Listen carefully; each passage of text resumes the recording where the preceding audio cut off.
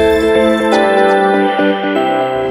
अनूपपुर ज़िले के Amlai railway station पर अनूपपुर विधायक मध्य प्रदेश के कैबिनेट मंत्री बिसाहू लाल सिंह जी के रीवा एवं मंडला ज़िले के प्रभारी मंत्री बनाए जाने के बाद प्रथम अनूपपुर आगमन पर भारतीय जनता युवा मोर्चा के नेताओं द्वारा भव्य स्वागत किया गया। स्वागत कार्यक्रम में विवेक पांडे जनपद सदस्य पवन कुमार चीनी उप सरपंच संतोष टंडन और रवि मिश्रा साथ ही में अजय पाल सौरभ और बीसम सहित सैकड़ों कार्यकर्ता मौजूद रहे। लोग लगभग सैकड़ों लोग हैं अमलाई से, और माननीय आदरणीय हमारे विसाहू लाल जी हमारे क्षेत्र के सबसे वरिष्ठ नेता हैं और हमारे पूरे ज़िले के विकास पुरुष कहलाते हैं। उनके विकास की गाथाएँ अब रीवा और मंडला तक गूंजेगी।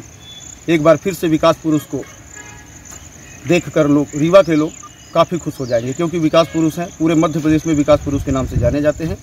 हम लोग बहुत बहुत आभार व्यक्त करते हैं माननीय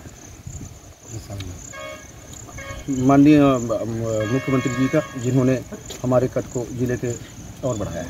हम सब लोग यहाँ एकत्रित हुए हैं माननीय मंत्री श्री बिसाहू लाल जी के स्वागत के लिए जिन्हें मंडला और रीवा का प्रभारी मंत्री बनाया गया है।